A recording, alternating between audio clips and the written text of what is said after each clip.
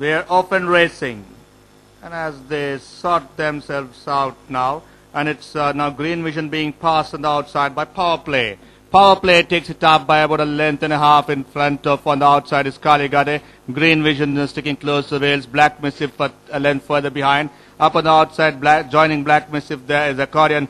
Two lengths away, there is Carte Blanche being joined by Classic Dancer about three and a half, four lengths further behind is Romantic Flyer along with College Girl.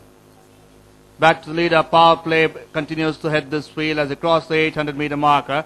Just about a length in front of Kaligad in second, about two and a half lengths further behind there. Black Mischief now moving into third on the outside, getting close to the leaders. About a length and a half further behind there's Carte Blanche also making a forward move. Green Vision slightly dropping back, Accordion. Then there's Classic Dancer.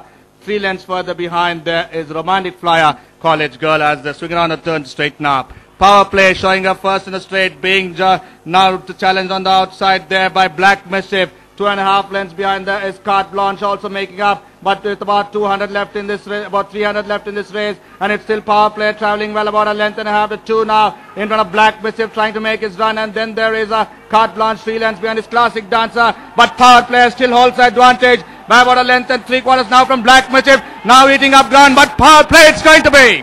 Power play wins it with about a length and a half to spare from uh, Black Mischief. Then there is uh, Carte Blanche in third, uh, Classic Dancer fourth, Accordion in fifth. Sixth there was Green Vision. Seventh was Romantic Flyer, College Girl, and last of all Green Vision. Last of all there was Kaligate.